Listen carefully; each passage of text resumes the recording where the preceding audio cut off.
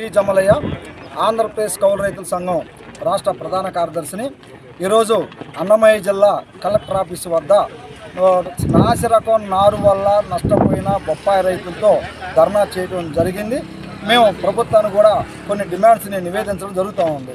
ముఖ్యంగా ఈ అన్నమయ్య జిల్లాలో మన కలికిరి వాయలపాడు గుర్రంకొండ మండలాల్లో సుమారు ఐదు వందల ఎకరాల దాకా ఈ సంవత్సరం బొప్పాయి సాగు చేశారు. ఈ బొప్పాయి నారుని మదనపల్లిలో ఉన్న శేఖర్ రెడ్డి నర్సరీ నుండి కలికిరిలో ఉన్నటువంటి ఎల్లారెడ్డి నర్సరీ రాజన్న నర్సరీ అనంతపురంలో కూడా కొంతమంది రైతులు ముప్పై నారు తీసుకొచ్చారు. ఇప్పుడు ఎనిమిది నెలలు అయింది. ఎనిమిది నెలలు అయిన తర్వాత పూత పూసింది పిందేసింది. కానీ కాయ సైజు పెరగలేదు. పక్వానికి ఒక నెల రోజులు రెండు రోజుల లోపే పక్వానికి వచ్చేసి రాలిపోతా ఉంది.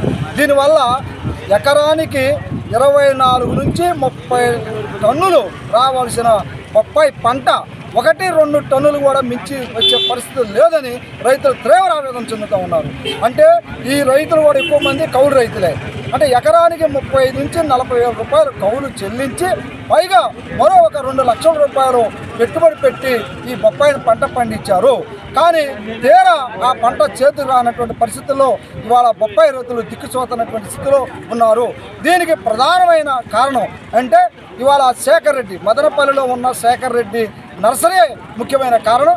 రెండో కారణం కలిగిరిలో ఉన్నటువంటి ఎల్లారెడ్డి నర్సరీ ఆ తర్వాత రాజన్న నర్సరీ వల్లే రైతాంగం తీవ్రంగా నష్టపోయారు. వాళ్ళు నాసి రకం నారు అందించారు. దీనికి కారణం ఏంటంటే జీ ఫిఫ్టీన్ ఎక్స్ పదిహేను అనే నెంబర్ కలిగినటువంటి విత్తనం తీసుకొచ్చారు.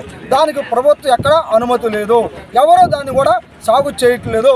కానీ కౌలు రైతుల యొక్క అమాయకత్వాన్ని ఆసరా చేసుకొని ఈ నర్సరీ యాజమాన్యాలు ఆ నారుని అంటగట్టి కోట్ల రూపాయలు సంపాదిస్తూ ఉన్నారు. వీళ్ళు అప్పుల్లో కూరుకుపోయి ఆత్మహత్యలు చేసుకునే స్థితికి దిగజారిపోయినటువంటి స్థితి ఉంది. ఎంత జరుగుతున్నా ప్రభుత్వం స్పందించట్లేదు. అధికారులు దీని గురించి పర్యటన చేయలేదు. కనీసం పంటను కూడా వెళ్ళి నిర్ధారణ చేసిన స్థితి కూడా లేదు. ఆ నేపథ్యంలో రైతులు ఆందోళన చేస్తూ ఉన్నారు.